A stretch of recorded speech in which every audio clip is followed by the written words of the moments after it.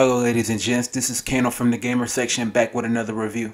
For today's review is on Big Blue Bubble's Foregone for the Xbox One, PS4, Nintendo Switch, and PC.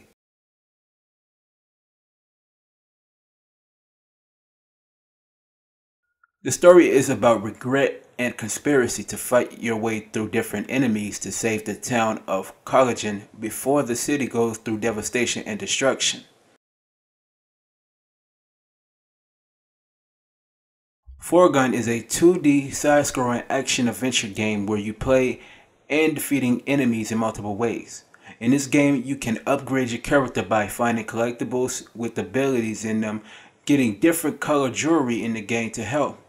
Also, you can battle against different enemies to drop different pieces to help with your upgrades, including different weapons, armor rings, and compass to help along the way. The graphics stand out even though your character has a 32-bit character frame and the enemies you can pick and choose how you customize your ability upgrades through a skill tree. The gameplay also has a ma major story-driven narration through each set of places you need to go to achieve end goal.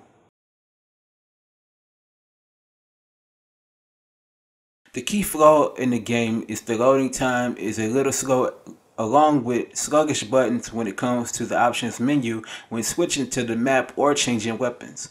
Another is that when you die, you lose all the money and upgradable jewels that you needed to upgrade your character in the game, but it's really just small, minor flaws that can just be fixed in a heartbeat.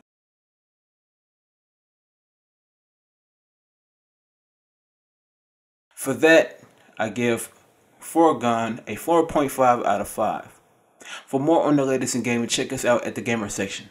Be sure to like, share, comment, and subscribe.